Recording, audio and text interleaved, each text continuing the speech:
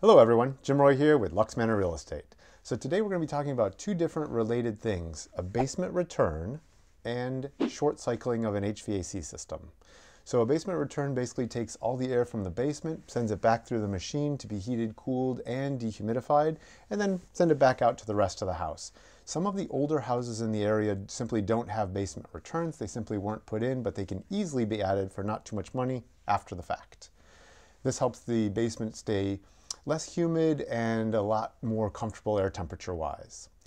Short cycling happens when the machine is too large and doesn't get a chance to have the air flow through it long enough. It'll cool the house down or heat it up so quickly that the machine turns off before it gets a chance to really dehumidify the house, which creates a problem in of itself. If you like the quality and efficiency of this video, contact Deluxe LuxManor Realtor the next time you're ready to buy or sell a home.